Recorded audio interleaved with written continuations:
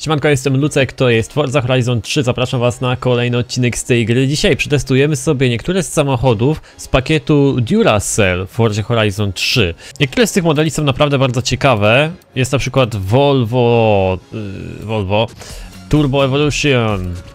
Jakby ktoś chciał, jest Nissan Nismo, który niespecjalnie mi się podoba. Znaczy, no niby z przodu wygląda w miarę okej.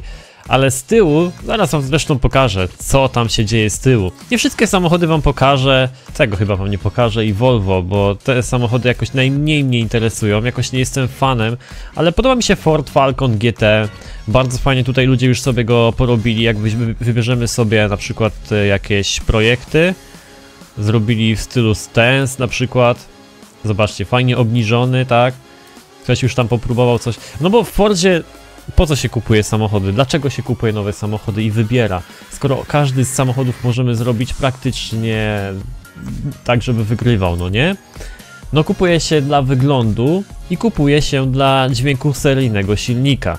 Więc to jest y, dla mnie najważniejsze. Bardzo podoba mi się BMW 507. Jak nie jestem wielkim fanem tej marki, tak ten samochód mi się podobał. Zresztą nie znam starszych modeli BMW, ale to wygląda świetnie. Nismo by mi się też podobało, gdyby nie. Właśnie, zaraz wam pokażę, gdyby nie co. Gdyby nie ten okropny tył, czym sobie obejrzeć samochód dookoła i o ile ten przód jest to po prostu wyrąbany, zajebisty, no nie? I troszeczkę nie podobają mi się te nadkola takie kwadratowe, chociaż zobaczymy jakie ja zrobię w mojej suprze. może, może, no nieważne.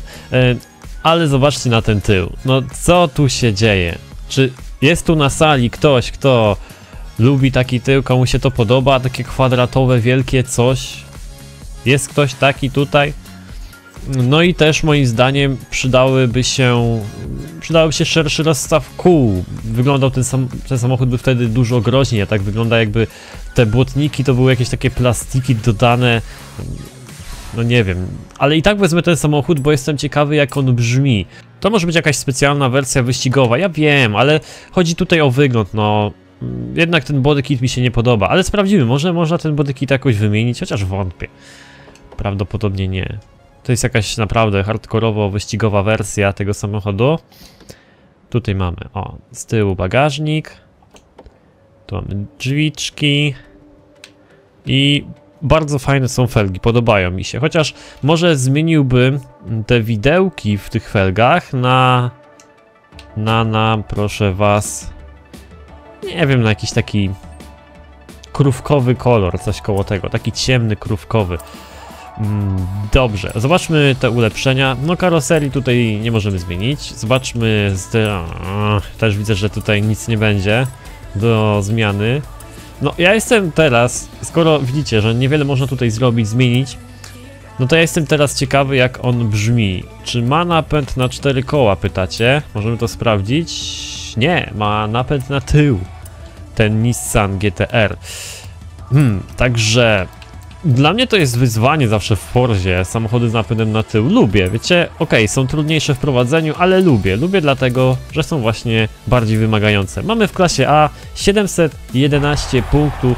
Nie jest to jakoś super dużo, ale posłuchajmy. Would you like me to set a route to the next race event for you?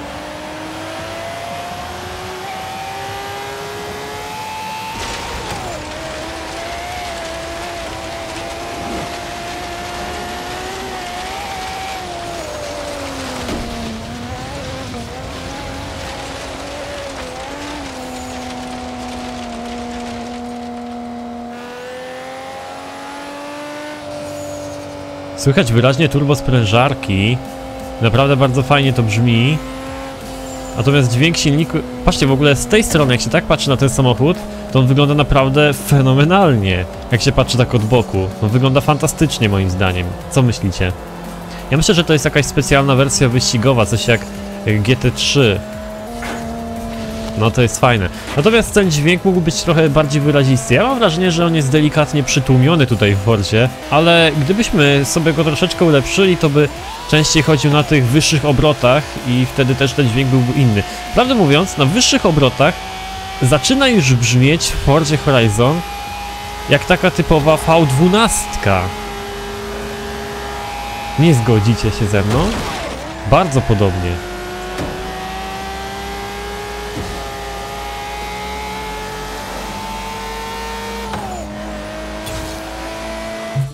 Zobaczmy sobie, jak wygląda w trybie zdjęciowym. I wygląda sobie tak. No ten przód i jak się patrzy z boku, samochód jest no nieziemski, kozacki, tak? Tylko żeby można było jeszcze te felgi, te koła w sensie bardziej wystawić, no nie? Żeby były lepiej rozstawione, żeby był taki szerszy.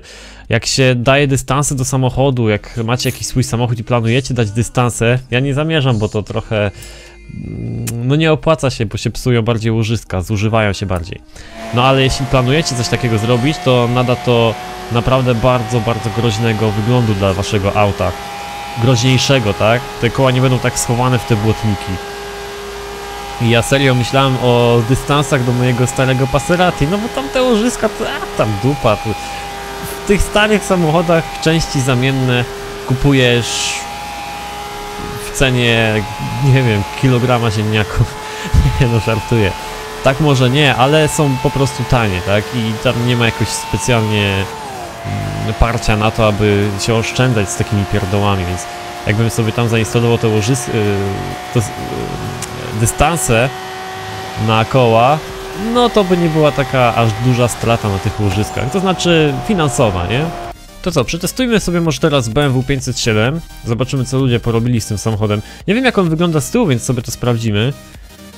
O, całkiem fajny kolor ktoś tu wybrał, jakieś customowe felgi, naprawdę ładny ten tuning pierwszy, podoba mi się. Tutaj jakieś malowanie, zobaczcie. Fast and Furious. Ja pierdziu, zobaczcie. Jakie fantastyczne. Och, kurde, to jest z tych naklejek, ale super, naprawdę. Tutaj trochę za duży cal felg, moim zdaniem. Tutaj takie trochę klasyczne malowanie, też bardzo fajne. Eee, no dobrze, wybierzemy sobie cyk, zobaczymy kolory, obejrzymy ten samochód dookoła, albo weźmiemy w jakimś... Uuu, do, zobaczcie jakich... Dużo opcji mamy, jeśli chodzi o kolory producenta. To nie zdarza się tak często. Weźmy sobie jakiś taki kolor. Taki James Bondowy mi się kojarzy ten kolor z takim Jamesem Bondem. On jest taki jakby... Yy, szary, podchodzący pod niebieski, coś takiego może. Nie wiem, bo ja mam jakieś oczy zrypane, nie wiem. Dobrze. Sprawdźmy go dookoła, jak wygląda. Z przodu przód jest kozacki, to już wam od razu mówię. Ogromna maska w tak niewielkim samochodzie. To jest zawsze coś, co mi się bardzo podoba i co doceniam w autach. Ogromna maska. Zawsze było coś. Na... Zawsze chciałem mieć coś dużego, wiecie? w spodniach nie mam to, chociaż w samochodzie. No dobrze. Pyk. I tak wygląda w środku. Ogromna kierownica, ogromna, zobaczcie. Ta kierownica jest jak pół samochodu, dosłownie. Wielkie zegary. Tak, bardzo, bardzo klasycznie. Nic tutaj nie ma jakiegoś tam zwyczajnego, no nie? Po prostu wsiadasz do auta, jedziesz. Ale świetnie wygląda, strasznie mi się podoba ogólnie styl takich autek. Mm, to jest... E, nie wiem jak to się nazywa dokładnie. Mm, tutaj w Fordzie to się może też inaczej nazywać, ale chodzi mi o fakt e, tego stylu nadwozia, no nie?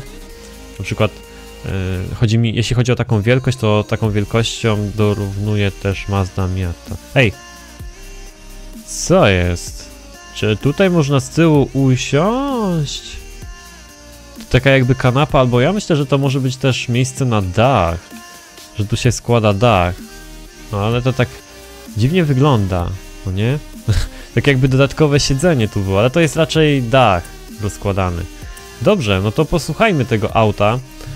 Jaka klasa? Nawet nie sprawdziłem, chyba D. D, 371, bardzo słaby będzie. Ale posłuchajcie tego gnoja.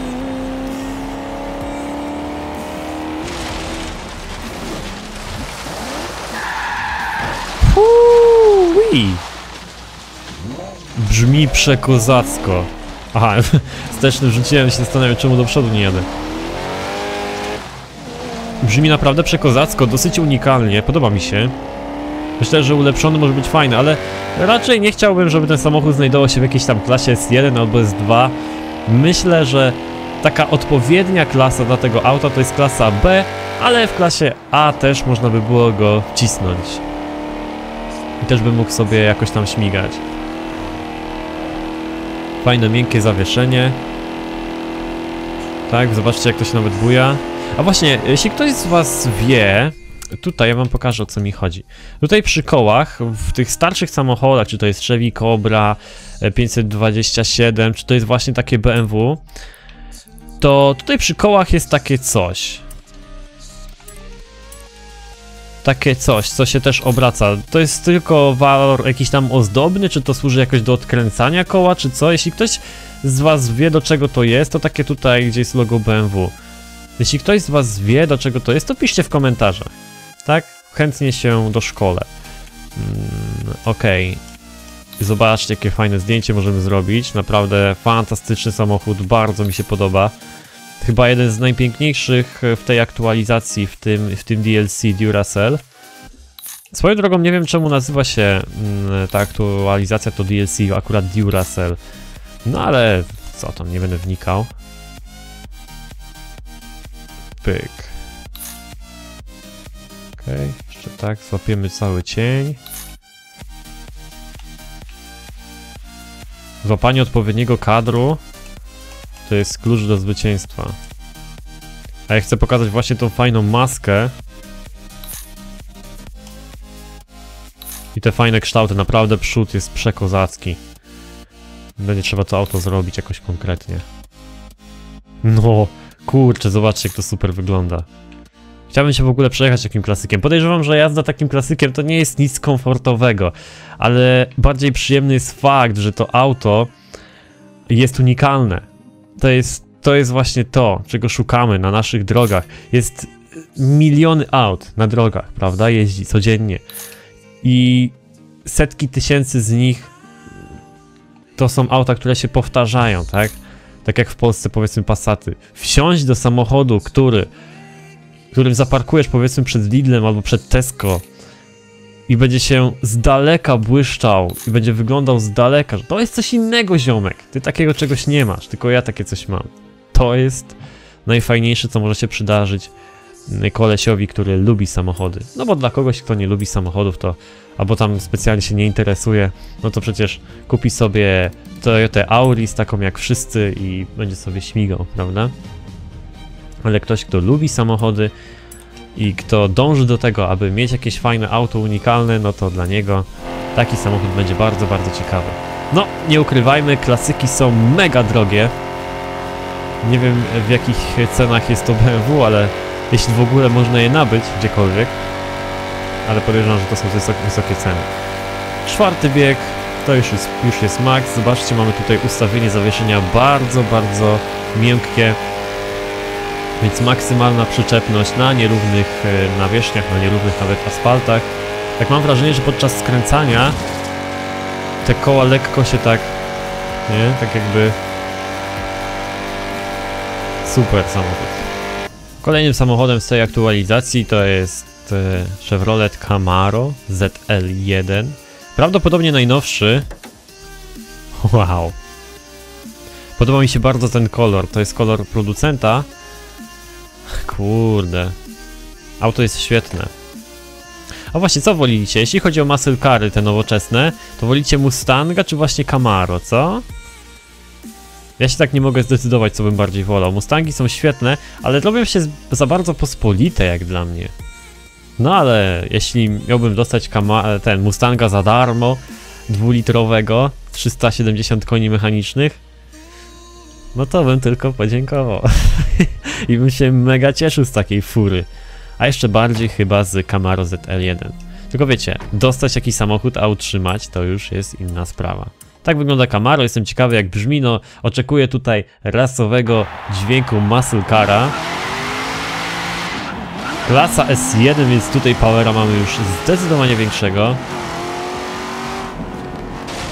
Masywny masywny tył. Przed chwilą mieliśmy naprawdę bardzo malutki samochodzik w porównaniu do tego, co my tutaj mamy. Tak? To potężna krowa. Brzmi naprawdę fantastycznie. Muszę przyznać, że podoba mi się. Bardzo fajny body kit też. Mamy tutaj dodatkowe progi. Tak, jest to prawdopodobnie dodane do tej wersji ZL1, jakiejś tam usportowionej. LEDowe reflektory. Jakoś tak weszły w modę te LEDo, LEDy wszędzie, no nie? I teraz na drogach już praktycznie te nowe samochody od roku 10 albo 12 w górę, no wszystkie mają LEDy. Jakoś tak się przyjęło i jest, nie? Czy wam się to podoba, czy nie? Tak będzie. No ale też w tych słabszych modelach samochodów, tańszych takich, wiecie, Toyota albo coś takiego. Nie mówię, że tam Toyota jest jakoś zła, ja lubię Toyotę, tylko yy, no to są takie auta już bardziej budżetowe, no nie? No to tam czasami te LEDy gdzieś tam zaczynają już mrygać, to znaczy są yy, zużyte trzeba je szybciej wymieniać, natomiast w takim Mercedesie no te LEDy zawsze dłużej wytrzymują. No bo co, myślicie, że LEDy się kupi... Co, co, co, co, co, co, co, co jest? Halo, ziomek, a co ty tutaj robisz? Przecież to jest Lamborghini Sesto Elemento. God damn it. Ej. Lamborghini Sesto Elemento, najlżejsze Lamborghini. Najlepiej, właśnie, czy ono jest, no nie jest najlepiej przyspieszające, ono jest najlżejsze. Kurde, całe z włókna węglowego, pierdzielone, robimy fotę. Lambor... Co? A, o, 50 tysięcy, spoko, przyda się. Sesto Elemento. Ktoś mi wspominał na live z Ford ostatnim, że w Fordzie Wiście będzie można teraz, nie w Fordzie Wiście, w Forza Tronie, będzie można wygrać właśnie Sesto Elemento. Pojawiło się w Fordzie Horizon. Początek za 23 godziny. Grę na placu zabaw, tu nic nie ma. W DLC też nie mamy nowych samochodów. Ale już w grze Sesto Elemento jeździ. I teraz pytanie brzmi, jak je zdobyć? Haha, czy to będzie jakiś ukryty samochód gdzieś na mapie? Wątpię, bo ukryte samochody to są jakieś zaginione auta, a zaginione auta to są po prostu auta starsze, no. Więc e, musimy czekać na jakiś update informacji co do tego, jak zdobyć Sesto Elemento. Jeśli ktoś z was wie, ktokolwiek widział, ktokolwiek wie, niech napisze w komentarzu i zaczynamy polowanie na Sesto Elemento, to jest fajny wóz. Ja sprawdzę na multiku, czy już ktoś tym jeździ, pojeżdżę sobie parę wyścigów mm, i wtedy zobaczymy, czy ktoś już ten wóz ma. Jeśli wy macie, dajcie znać w komentarzach, jak go zdobyć. Bo jeszcze żadnej informacji takiej nie widziałem, pomuszuję po internecie i na pewno coś znajdę. A co do, co do Camaro, to dźwięk bardzo fajny, jak mówiłem. I no, jak na razie fajnie mi się nim jeździ. Myślę, że można by było nim coś tam pośmigać. Przede wszystkim bardzo groźny wygląd drapieżnika takiego, no nie? Nawet mógłbym powiedzieć, że taki groźniejszy wygląd niż Mustanga, Forda Mustanga. Ten jest taki dinozaur, taki, taki raptor, można powiedzieć, taki, taki, nie wiem, jakiś tam dinozaur taki drapieżny. tak mi się kojarzy jakoś ten pysk jego. No. A, a Mustang też jest drapieżny, ale w takim innym sensie, no. Mustanga bym porównał do konia. Konia Mustanga. Nie no, wygląda ten samochód bardzo fajnie i na pewno będę nim sobie śmigał. Moi drodzy, to tyle jeśli chodzi o te samochody. Widzieliście jakie były pozostałe, ale te pozostałe jakoś tak niespecjalnie mnie interesują. Jeszcze jest ten Ford Falcon GT, taki z ciekawszych. No ale zobaczymy jeszcze, może na, na live jakiś sobie go stuningujemy. Ej, ta maszyna na standardowych ustawieniach driftuje po prostu fantastycznie. Zobaczcie, jakie ładne koła robię tutaj na rondzie. I czuję, że mam nad nim bardzo dużą kontrolę. Na dwójce driftując. Dopiero teraz e, mi coś tam przestorowywał, ale jeszcze mogłem go wrócić. Kurde.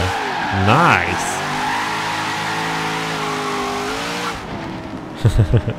I brzmi świetnie. Bardzo wam dziękuję, że byliście na tym odcinku. Trzymajcie się. Na razie, papa.